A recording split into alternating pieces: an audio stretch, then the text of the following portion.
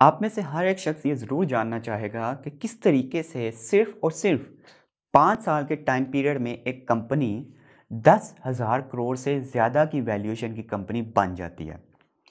एक कंपनी जो कि इंडिया में 2016 में स्टार्ट होती है, अपने स्टार्ट होने के अगले ही साल यानी कि 2017 में सताईस करोड़ रुपए का प्रॉफिट करती है। उससे नेक्स्ट ईयर यानी कि 2018 में 108 करोड़ रुपए का प्रॉफिट करती है। उससे नेक्स्ट ईयर 240 करोड़ और उससे नेक्स्ट ईयर 500 करोड़ रुपए का प्रॉफिट करती है। ये सब कैसे हुआ?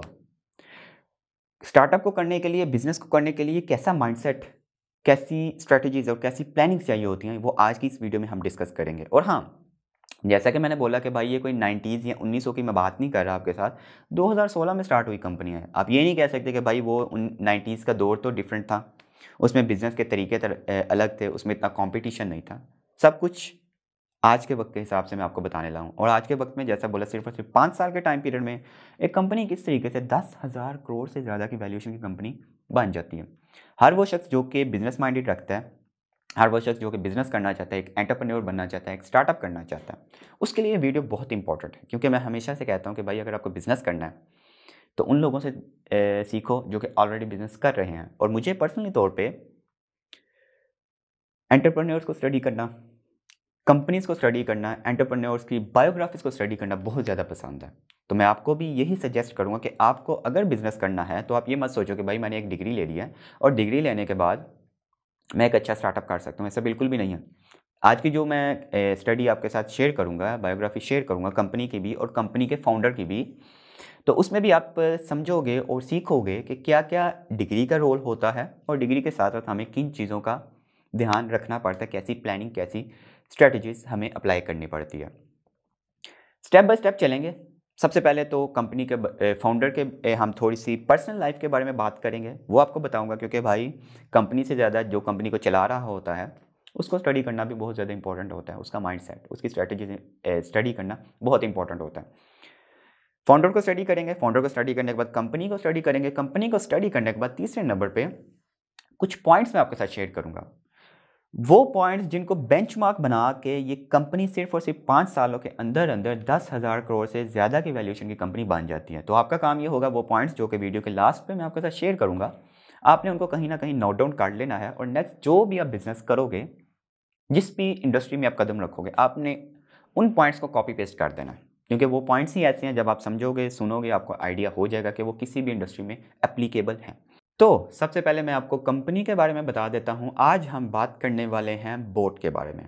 जनाब, चलाने वाली बोट यानी कि कश्ती के बारे में बात नहीं करने वाले। बोट एक कंपनी है इंडियन बेस्ड कंपनी है, जो कि बनाती है हेडफोन्स बनाती है स्पीकर्स बनाती है एयरबड्स बनाती है, इस तरीके के इलेक्ट्रॉनिक गैजेट्स बनाती है। आज हम बात करने वाले हैं बोट के बारे में। तो जैसा कि मैंने बोला, सबसे पहले हम बात करेंगे कंपनी के फाउंडर के बारे में। कंपनी के फाउंडर हैं अमन गुप्ता। उनके बैकग्राउंड के बारे में बात करते हैं। उनका बैकग्राउंड थोड़ा सा अकाउंटेंसी की फ़ील्ड से रिलेटेड है। उनके, उनका कहना है कि भाई, मेरी जो बैकग्राउंड है, मेरी जो फैमिली है, उसमें बहुत ज़्यादा अकाउंटेंट्स है, बहुत ज़्यादा चार्टर्ड अकाउंटेंट्स है। उन्हीं को लेके मुझ पर भी बहुत ज़्यादा प्रेशर था कि भाई, मैं भी अकाउंट्स को ही कैरी करूँ। चार्टर्ड अकाउंटेंसी में एडमिशन ले लिया। जब मैं सीए कर रहा था, उस दौरान मुझे फील हुआ कि भाई ये मेरी समझ में नहीं आता, क्योंकि जो फिगर्स है, जो मैथ है, वो कहते हैं मेरी समझ में नहीं था आता। लेकिन घर वालों का बहुत ज़्यादा प्रेशर था, जिस वजह से मुझे सीए कंप्लीट करना पड़ा। तो जैसे तैसे करके मैंने सीए को कंप्लीट किया और सीए को कंप्लीट करने के बाद अपनी डिग्री उठाई, अपनी डिग्री उठा के अपने फादर को दी और कहा कि ये आपकी डिग्री जो आप चाहते थे, अब मैं वो करूँगा जो मैं चाहता हूँ। डिग्री कंप्लीट करने के बाद कहते हैं कि मैंने एक कंपनी में जॉब स्टार्ट कर दी। तीन साल उस कंपनी में जॉब करने के बाद मुझे रियलाइज़ हुआ कि भाई ये वो चीज़ नहीं है जो कि मैं करना चाहता हूँ। ये मेरा पैशन नहीं है, मैं कुछ अलग करना चाहता हूँ। तीन साल के बाद जॉब छोड़ दी। जॉब छोड़ने के बाद अपने फादर के साथ एक बिज़नेस में अटैच हुए और किसी वजह से उस बिज़नेस को भी हमें बंद करना पड़ा। जॉब छोड़ी, बिज़नेस छोड़ा, बिज़नेस छोड़ने के बाद शादी हो गई। शादी के बाद फिर अगेन मैंने एमबीए में एडमिशन ले लिया। लोन लेके जैसे तैसे करके एमबीए में एडमिशन ले लिया। एमबीए में एडमिशन लेने के बाद एम बी कंप्लीट किया। एम बी कंप्लीट करने के बाद अगेन एक और कंपनी में मैंने जॉब स्टार्ट कर दी।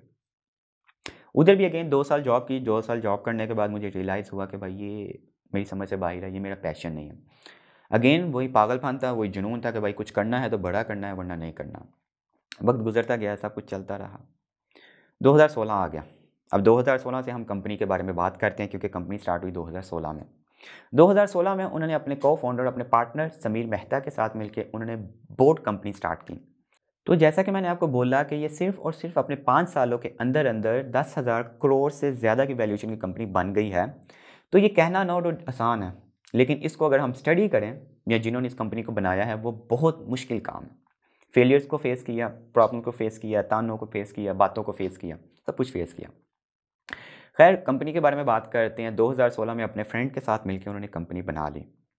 अब जब उन्होंने कंपनी बनाई तो उस दौरान ऑलरेडी वो कहते हैं कि भाई 200 से ज़्यादा कंपनीज़ ऑलरेडी मौजूद थी, जो कि हेडफोन्स बनाती थी स्पीकर्स बनाती थी ऑलरेडी बड़ी बड़ी कंपनीज़ मौजूद थी और इवन के तीन बड़ी कंपनीज़ सोनी बोस और जेबीएल ये तीन बड़े जॉइंट्स थे जो कि इंडिया में इस फ़ील्ड में, इस इंडस्ट्री पे राज किया करते थे।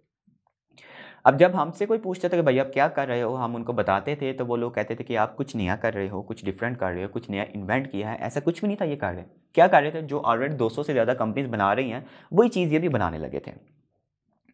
तो लोग उनने बातें किया करते थे।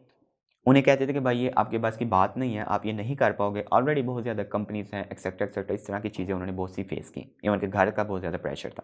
लेकिन जैसा कि मैंने बोला कि एक बिजनेसमैन जो होता है, वो पागल होता है तो उन्होंने अपने पागलपन को कंटिन्यू किया। उन्होंने कहा कि हम इसे कंटिन्यू करेंगे और हम इसी फ़ील्ड को, इसी इंडस्ट्री को कैरी करेंगे। जैसे तैसे करके उन्होंने कंपनी को चलाया कंपनी को चला के उन्होंने उसकी प्रमोशन पे आए, उसकी मार्केटिंग पे आए, उसकी मार्केटिंग की और करते करते करते करते आहिस्ता आहिस्ता उन्होंने कंपनी को एक सक्सेसफुल कंपनी में कन्वर्ट कर दिया। अब बात करते हैं हम उस कंपनी के जो कि इस वीडियो का और इस कंपनी को बनाने के पीछे जो कि उन पॉइंट्स का जो मेन रोल है, जो मेन बातें हैं, वो अब हम डिस्कस कर लेते हैं। कौन सी ऐसी बातें हैं, कौन से ऐसे पॉइंट्स हैं जिन्हें बेंचमार्क बना के ये कंपनी पाँच सालों के अंदर अंदर दस हज़ार करोड़ से ज़्यादा की कंपनी की वैल्यूशन की कंपनी बन गई। पहला पॉइंट पहला पॉइंट जो कि बोर्ड कंपनी ने जिस पर फोकस किया वो था कस्टमर उन्होंने अपने कस्टमर को बहुत अच्छे तरीके से स्टडी किया। समीर कहते हैं कि भाई, मैंने देखा कि हमारी जो टारगेटेड ऑडियंस है वो है हमारी यूथ और जब तक मैं अपनी कंपनी को एक बना पाया सक्सेसफुल कंपनी में थोड़ा बहुत चलाने के काबिल हो पाया, तब तक मेरी एज थर्टी फाइव के करीब हो चुकी थी। अब थर्टी फाइव की एज में एक बंदा यूथ से निकल जाता है। अंकल वाली कैटेगरी में कह लो कि आ जाता है। तो वो कहते हैं कि भाई मुझे कस्टमर पे फोकस करना था अब कस्टमर भी मेरा कौन सा था कि वो जो कहता है कि भाई मेरे बाबू ने थाना थाया यो यो वाले जो ए, हमारी यूथ होती है वो मेरी टारगेटेड ऑडियंस थी। कहते उस काम को उस चीज़ को स्टडी करने के लिए अपनी यूथ को स्टडी करने के लिए मैंने कुछ ऐसी जो यंग यूथ के कुछ लोग हैं उन्हें अपने पास हायर किया और उनसे डिस्कशन स्टार्ट कर दी। करते करते मैंने अपने कस्टमर को बहुत अच्छे तरीके से फोकस किया। अब वो कहते हैं कि कस्टमर्स पे फोकस करने के साथ साथ जब एक चीज़ मुझे मेन नज़र आई, वो ये है कि भाई इंडियंस को बेस बहुत ज़्यादा पसंद है। जिस तरह बेबी को बेस पसंद है, वैसे इंडियंस को भी बेस पसंद है। तो वो कहते हैं कि हमने कोशिश की कि हम अपने प्रोडक्ट्स में बेस डाल दें। हम भी जब अपना कोई प्रोडक्ट लेके आते हैं, इस तरह का कोई हेडफोन लेके आते हैं या एयरबड लेके आते हैं, कुछ भी लेके आते हैं, अगर उसमें हमें बेस नहीं ना मिलती तो हमें मज़ा नहीं आता, चाहे वो जितना मर्ज़ी अच्छा प्रोडक्ट क्यों ना हो। तो उन्होंने अपने कस्टमर को फोकस करने के दौरान उन्हें बेस का पता चला कि भाई बेबी को बेस पसंद है इंडियंस को बेस पसंद है तो उन्होंने बेस को ऐड किया। कस्टमर को फोकस किया कस्टमर को फोकस करने के बाद उन्हें पता चला कस्टमर इस चीज़ को लाइक करते हैं, उन्होंने वो चीज़ ऐड की, उस चीज़ को ऐड करने के बाद उन्होंने फोकस किया कि भाई जो लोग हैं, वो स्टाइल चाहते हैं अब यहाँ पे जब उन्हें पता चला कि लोग स्टाइल भी चाहते हैं या अगर हम लोगों को स्टाइल भी दे दें तो हमारे प्रोडक्ट की सेल अच्छी हो सकती है या वो एक नीच हम पकड़ सकते हैं, जो कि हमें थोड़ा सा जो 200 ऑलरेडी कंपेटिटर्स हैं और उन कंपेटिटर्स में भी तीन बड़े मगरमच्छ बैठे हुए हैं, जो कि राज कर रहे हैं, हम उनसे अलग हो सकते हैं। तो उन्होंने एक दिमाग लड़ाया। दिमाग ये लड़ाया कि उन्होंने अपने प्रोडक्ट्स को इलेक्ट्रॉनिक प्रोडक्ट्स कहने की बजाय उन्होंने फ़ैशन प्रोडक्ट कहना स्टार्ट कर दिया। इसी तरीके से मार्केटिंग जब उन्होंने की, आप में से बहुत से लोगों ने रैम्प वॉक देखी होगी। रैम्प वॉक में क्या होता है? उसमें मॉडल्स, यंग मॉडल्स जो होते हैं, वो रैम्प पे वॉक करते हैं। अब उन्होंने रैम्प वॉक में क्या किया? रैम्प वॉक पे उन्होंने जो भी मॉडल्स थे, उनको अपने हेडफोन्स दे दिए। उन्होंने हेडफोन्स इधर लगाए और हेडफोन्स लगा के रैम्प पे वॉक किया, जिससे इंप्रेशन क्या पड़ा? इंप्रेशन ये पड़ा कि भाई ये एक इलेक्ट्रॉनिक प्रोडक्ट नहीं है, ये एक फैशनेबल प्रोडक्ट है। मैं अपनी पहली बहुत सी वीडियोस में ये बात बता चुका हूँ कि भाई आप कोई भी बिज़नेस करते हो ना, कोई भी प्रोडक्ट लॉन्च करते हो प्रोडक्ट लॉन्च करने से ज़्यादा आपको इस चीज़ पे फोकस करना चाहिए कि आप अपने कस्टमर को एक माइंडसेट दो, जैसे मर्ज़ी करो। आपको अपने कस्टमर को एक माइंडसेट देना चाहिए। देखो जी मोबाइल फ़ोन सैमसंग भी है मोबाइल फ़ोन आईफोन भी है एप्पल भी है। अब एप्पल जब कोई खरीदता है, उसके माइंडसेट में ये आता है कि भाई मैं एक ब्रांड खरीद रहा हूँ। इसी तरीके से कोई भी प्रोडक्ट अगर आप बनाते हो ना, आपको अपने कस्टमर को फोकस करने के साथ साथ अपने कस्टमर को एक माइंड देना चाहिए कि भाई वो ये चीज़ खरीद रहा है। क्योंकि देखो इलेक्ट्रॉनिक प्रोडक्ट्स तो ऑलरेडी सोनी भी था JBL भी था बोस भी था और 200 और भी थे।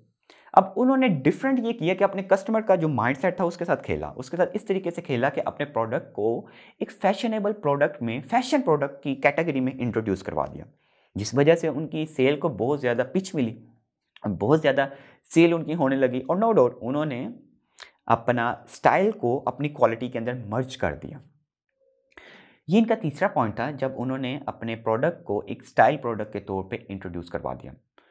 चौथा पॉइंट जो उन्होंने फोकस किया वो ये था कि भाई ऑलरेडी जो बड़ी बड़ी कंपनीज़ हैं, आपको पता है जब कंपनी फ़ेमस हो जाती है, वो अपनी प्राइसिंग बहुत ज़्यादा इंक्रीज़ कर देती है जब वो ब्रांड बन जाती है।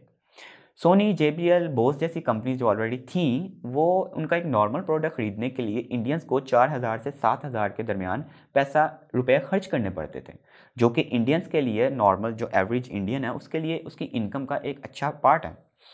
तो उन्होंने जब प्राइसिंग पे फोकस किया, उन्होंने कहा कि भाई हम प्राइसिंग भी कम करेंगे। तो उन्होंने वही प्रोडक्ट जो कि चार से सात हज़ार के दरमियान में बिकता था, एक से दो हज़ार के दरमियान में इंट्रोड्यूस करवा दिया।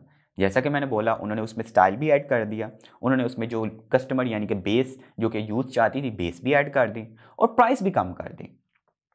तो ये एक मेन एलिमेंट हुआ, ये बेसिक पॉइंट्स हुए जो कि इस कंपनी ने अपने बेंचमार्क के तौर पे सेट किए।